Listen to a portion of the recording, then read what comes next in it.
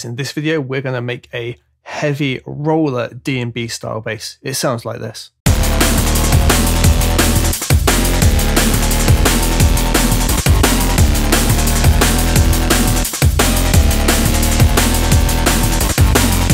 Alright, so the sound we're going to make here is a little bit more complex than the super saw that we did previously. And we're going to be assigning the LFO to lots of things to get lots of movement with the sound. And it's one of the ways that you can create a really dynamic and moving sound without having to do lots of automation on the other end of it. So let's look to do that. We're going to start off with a wavetable and find a shape that we like.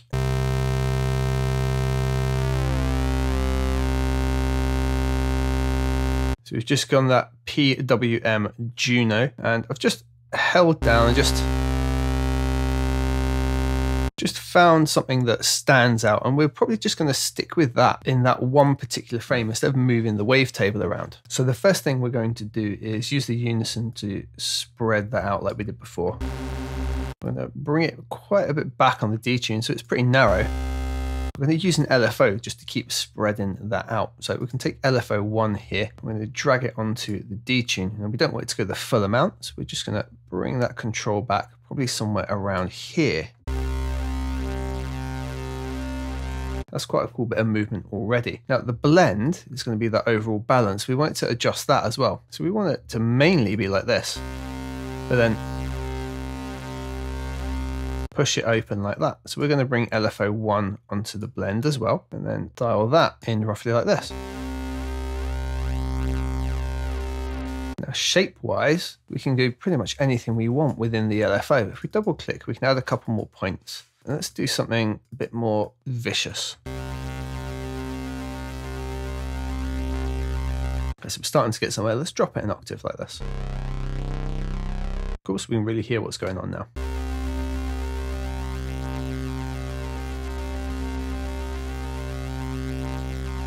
We want to make sure that a bit of weight sticks in with this. We're going to put the sub straight in as well. And we'll put it on the rounded corner and drop it by an octave. That's helped us get loads of weight into it already. Now in oscillator B, I want to create some extra movement. So let's switch oscillator B on. We're going to turn A off and the sub off for the minute. We want to try and find something where we can get like a bit of a resonance shifting around.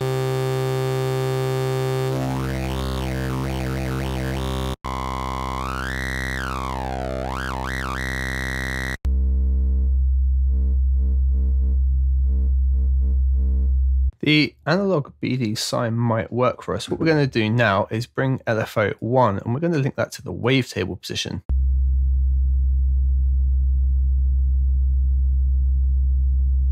Pulsing a little hard. Let's try a different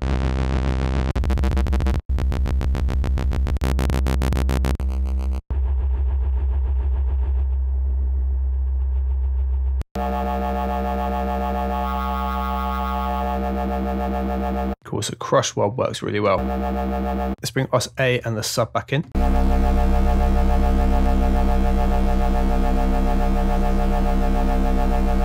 Let's maybe take it ever so slightly off phase with a bit of a random element too.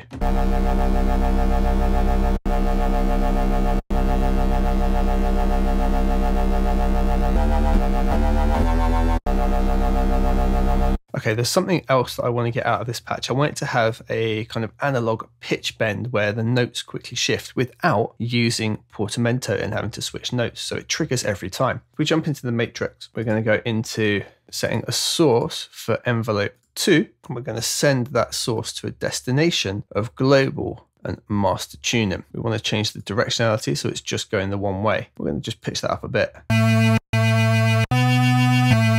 So now if we go to envelope 2, we're going to take hold completely off and we want K to be pretty much gone as well. we're just going to have a quick release.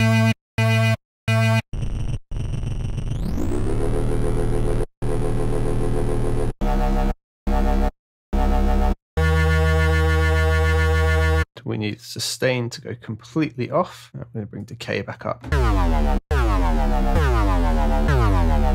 Now depending on that decay, that brings our note back down. Even faster release, just that decay.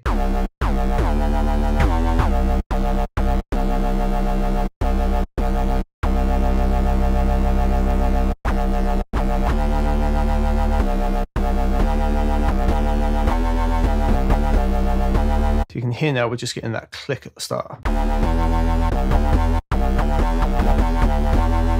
If we to bring this right up really exaggerate it.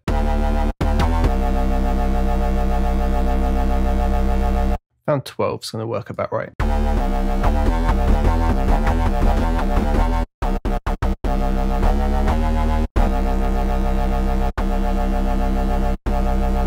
I think the last thing we can add a bit of noise in and what we'll do we'll go into analog and take we'll bring the level right back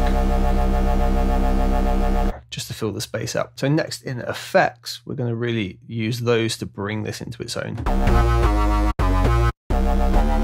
so let's do hyperdimension first. I'm going to bring the size down dimension. I'm going to bring the mix up quite a bit.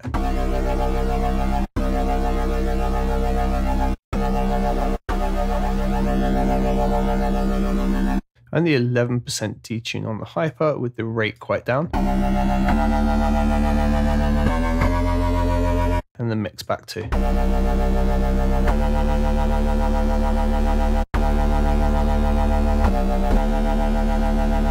we can try bringing in flanging for a bit of extra stereo whip.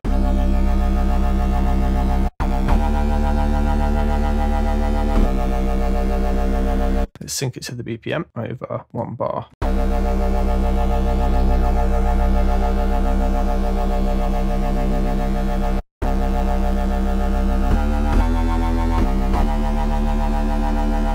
I'm going to bring distortion in after this.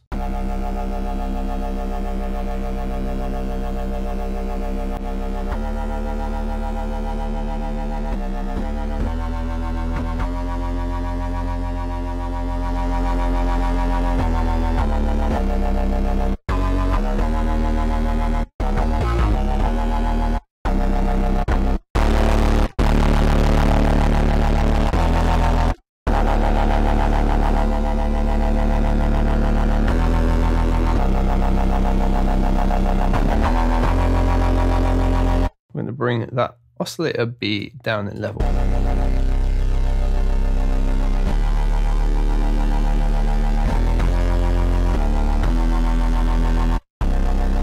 We're going to use the compressor to bring a lot of the high end out, probably with multiband on.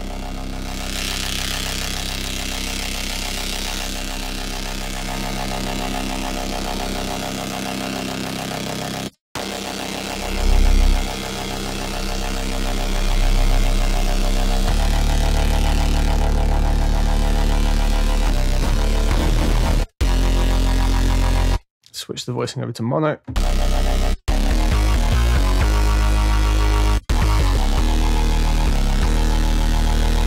And I think just to take some of that harsher high end away now, we're just going to put all three into the filter, really subtle 6 dB slope.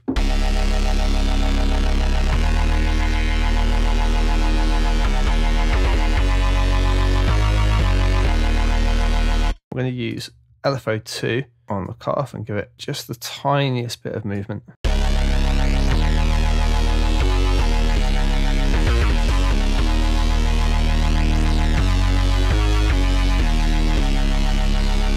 Let's try this at a faster BPM.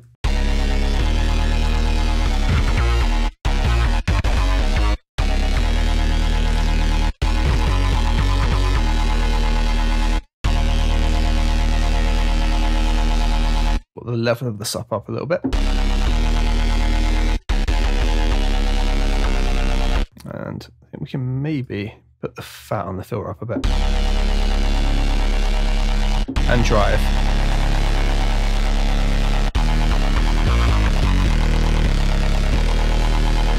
Let's see if we can put it in context.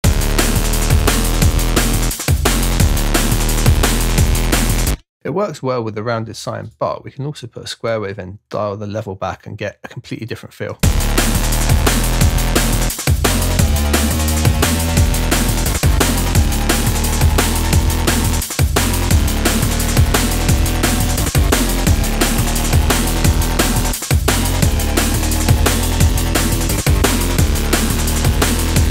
So there is a big roller type drum and bass bass.